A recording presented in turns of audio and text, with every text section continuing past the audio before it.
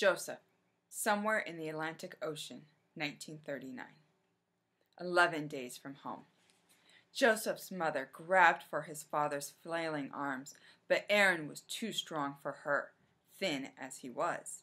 No, no! They're coming for us, he said, his eyes frantic. The ship is slowing down. Can't you feel it? We're slowing so they can turn us around, take us back to Germany. Josef's father pulled his arm away and knocked over a lamp. It fell to the floor with a crash, and the light went out. Josef, help me, his mother begged. Josef pulled himself away from the wall and tried to grab one of his father's arms while his mother went for the other. In the corner of her bed, Ruthie buried her face in Bitsy's ears and cried. No, Josef's father cried. We have to hide. Do you hear me? We cannot stay here. We have to get off this ship. Josef grabbed his father's arm and held on tight. No, Papa, we're not turning around, Josef said. We're slowing for a funeral, a funeral at sea. Josef's father stopped dead, but Josef kept a tight hold on him. He hadn't wanted, wanted to tell his father about the funeral, but now it seemed to be the only way to calm him down. Aaron, Aaron's bulging, haunted eyes swept to his son. A funeral? Who died?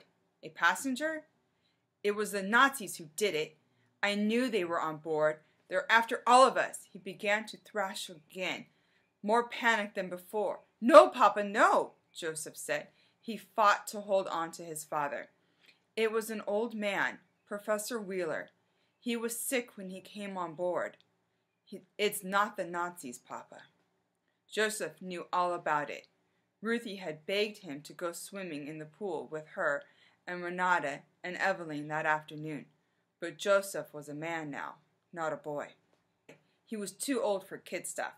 He'd been walking the outside boardwalk on B deck instead, keeping an eye out for a man from the engine room, Schiendick, and his friends, when he heard a cry from one of the cabin portholes.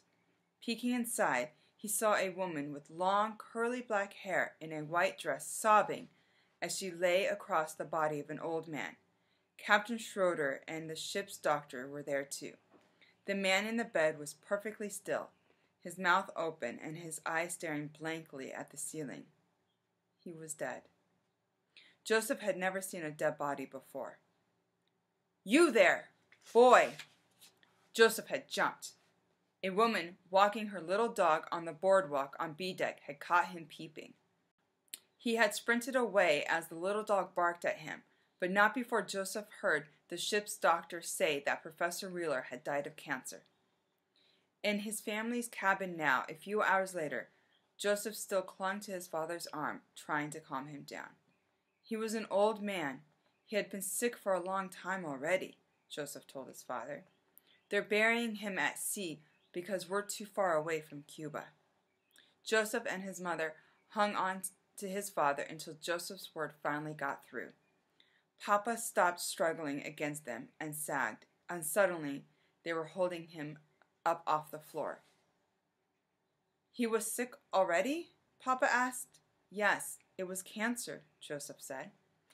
Josef's father let them guide him to his bed, where he sat down. Mamma went to Ruthie to comfort her. When is the funeral? Papa asked. Late tonight, Josef responded. I want to go, his father said. Josef couldn't believe it. Papa hadn't left the cabin in 11 days, and now he wanted to go to the funeral of someone he had never met. In his condition, Josef looked worried to his mother, who held Ruthie in her lap. I don't think that's such a good idea, Mamma said, echoing Josef's thoughts. I saw too many men die without funerals, Papa said. I will go to this one. It was the first time his father had ever spoken of a place that he had been, when it was like a winter frost covering everything in the room. It ended the conversation as quickly as it begun. Take Josef with you, then, Mamma said. Ruthie and I will stay here. That night, Josef led his father to A deck aft, where the captain and his first officers waited with a few other passengers. The passengers' clothes looked shabby, and it was only when he heard his father tearing his shirt that Josef understood. Ripping your garments was a Jewish tradition at funerals, and they had torn theirs, theirs in sympathy was with Miss Wheeler. Josef pulled on his own collar until the seam ripped, and his father nodded and led him to the sandbox by the pool and had taken a handful of sand. Josef didn't understand, but he did as he was told. The elevator to A deck arrived, and Miss Wheeler emerged, emerged first, a candle in hand. Behind her came the rabbi and four sailors who carried Professor Wheeler's body on a stretcher. He was bound up tight in a white sailcloth like an Egyptian pharaoh. Hold on there, a man from below decks. Schiendick pulled through a small crowd with two fellow crew, crew members. I'm Otto Schiendick, the Nazis' party leader on this ship, he said. And the German law states that a body buried at sea must be covered with the national flag.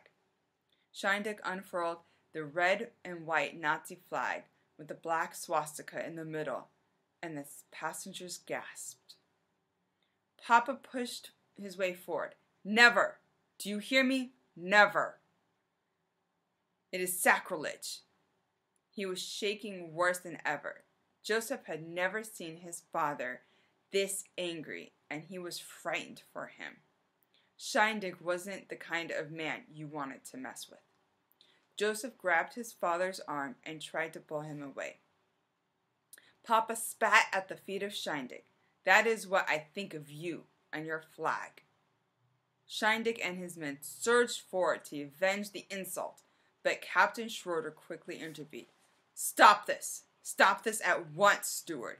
The Captain Schroeder commanded. Schiendick addressed his captain, but never took his eyes off Josef's father. It's German law and I see no reason for an exception to be made in this case. And I do, Captain Schroeder said. Now, take the flag and leave here, Mr. Schiendick, or I will relieve you of your duty and have you confined to your quarters. The steward held Papa's gaze for a long moment more.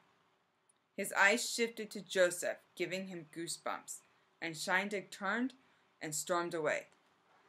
Josef's chest heaved like he had been running a marathon. He was so wound up, he was quivering worse than his father. Slant, sand slipped from his shaking fist. The captain apologized profusely for the disturbance, and the funeral continued. The rabbi said a short prayer in Hebrew, and the sailors slid the body of Professor Wheeler over the side of the ship. After a moment, there was a quiet splash, and the mourners said together, Remember, God, that we are of dust. One by one, they stepped to the rail, where they released handfuls of sand, the sand Josef's father had told, told him to take from the sandbox. Josef joined his father at the rail, and they scattered the sand to the sea. Captain Schroeder and his first officers put their caps back on and saluted. They touched the brims of their hats, Josef noticed, instead of giving the Hitler salute. Without words, the funeral service broke up. Josef expected his father to return to their cabin right away, but instead, he lingered at the rail, staring down into the dark waters of the Atlantic. What was he thinking? Josef wondered what happened to him at Dachau that he's now a ghost of the man he once was. At least he didn't have to be buried in the hell of the Third Reich, his father said. The ship rumbled softly, and Josef knew the captain had restarted the engines, and they were on their way to Cuba again. But how much time had they lost?